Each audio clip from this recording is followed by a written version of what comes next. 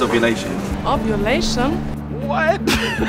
Ovulation. Um, Ovulation. he knows. Ovulation. Period. You're getting ready to make babies? Okay, yeah, that Yeah. could work. Mm-hmm. What is ovulation? That is when the egg is released from the ovaries in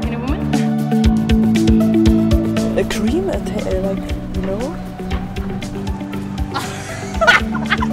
I don't know. I don't actually know. My school doesn't really teach us. I have no clue actually.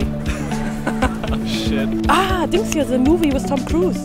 Do, do you want to explain it? Uh, I think I'll let you take this. No, you can take it. I didn't want to ask you. So. um, uh, um, like periods and things.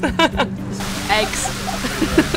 When the ovaries or when the eggs Isn't that where it's something, it's something to do with the ovaries or when you ovulate, that's when the best time to get pregnant is or something like that? I think that's my. I don't know wow, I think that's it.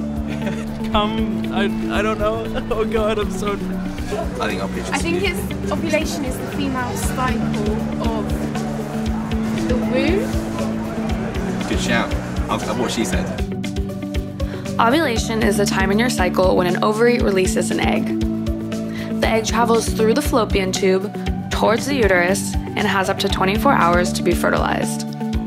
If the egg is not fertilized during that time, it'll be shed with your next period.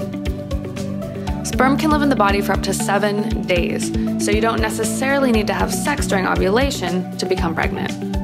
Oh yes, I definitely do. I love using period trackers. Like if I didn't use it, I literally would never know. I'd just be like, oh, it's here.